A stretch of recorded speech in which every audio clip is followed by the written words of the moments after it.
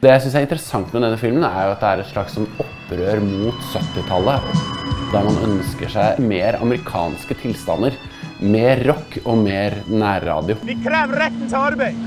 Og får vi ikke den, så tar vi den. 'Piratene' er en norsk ungdomsfilm fra 1983.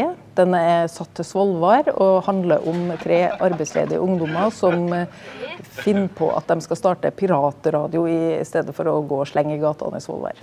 Radio Fiskslok for dem som er til overs. De arbeidsløses egen radiostasjon.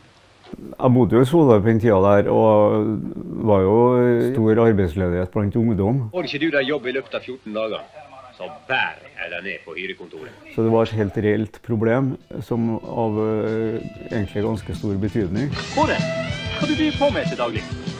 Ingenting. Hva? Altså.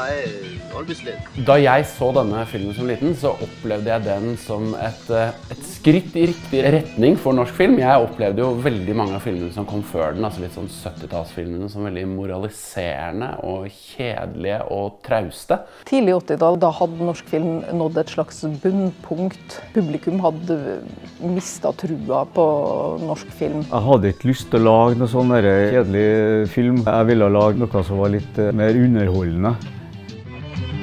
Piratene river seg løs fra den sosialrealistiske filmen på 70-tallet og viser at du kan ta opp sosial problematikk i et annet formspråk. Denne filmen her eh, var mer på ungdommens parti og eh, opplevdes som mer eh, sannferdig. Den er sarkastisk mot de voksne i samfunnet, veldig på ungdommens side. Det utvikler seg til å bli en actionfilm, og den peker mot det som eh, blir norsk actionfilms eh, første store periode, spesielt med Orions belte, som kommer to år senere. Da. Det fantes ikke noe filmskole i Norge på 70-tallet. Filmskolen var å lage film.